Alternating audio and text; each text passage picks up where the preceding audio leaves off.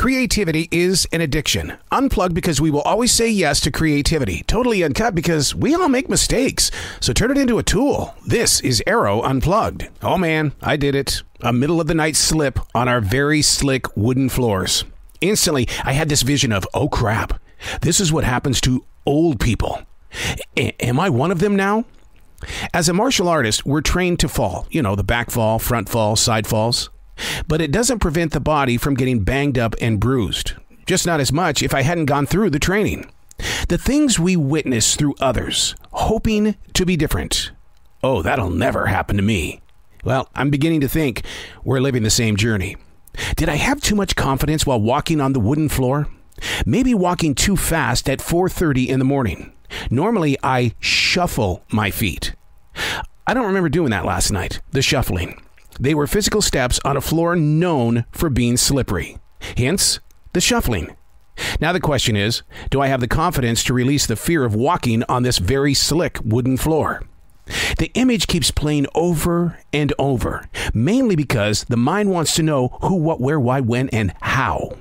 And even if it did locate a solution, what would be the initial steps to keep me from falling again? Oh no!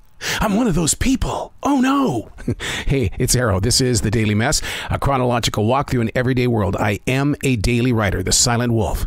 My job, my goal, my ambition is to watch life, to be observant of it, to be able to listen to it, study it, and bring things forward in the way of just having a conversation. This is The Daily Mess. Hey, whatever you do, don't let this beautiful sunrise this morning fool you. As bright as it is, the temptation to run out and play with its rays will need to come with some winter gear. It's only 18 degrees. Unbothered by these cold temps are the always working squirrels and family of deer. It's always more calm on mornings such as this. I was reminded of living in the state of Montana, where it was pretty much regular to have a 40 below zero night, and it was always silent. That always caught my attention. The only thing that you could hear on that 40 below zero night in Montana were the electric power lines.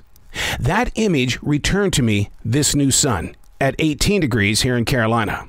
How unbelievably quiet it was in this forest. And science has an answer. Colder temperatures increase density, which makes it harder for sound waves to travel. Our typical sounds every morning are still present, just unable to reach beyond its normal path a tiny piece of positive to hold on to during these cold winter months where you go, oh, I hate winter. But we need the winter weather for so many reasons. Just like we all go through several different seasons when it comes to thinking. Don't let it just happen. Take notes while asking questions. When your emotions are ice cold, you gotta ask yourself, am I being silent like the outdoors?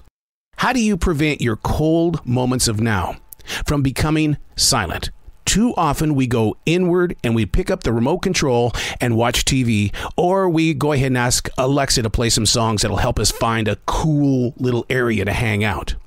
The goal is not to be that way. You need to warm your mind, body, and soul with thoughts of positive action, such as looking at the sunshine this morning, realizing it was 18 degrees, doing some research on where does sound go, and you find that little little niblet of positive. And from that niblet will come your next step. And you start looking at things that are positive. We are in one of the scariest times when it comes to seasonal changes, and that is because we aren't getting the sunlight that our mind, body, and soul need in order to find happiness.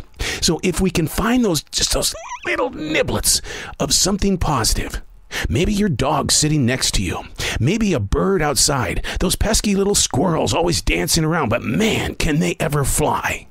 The positive niblets. I'm Arroe, and that's the Daily Mess.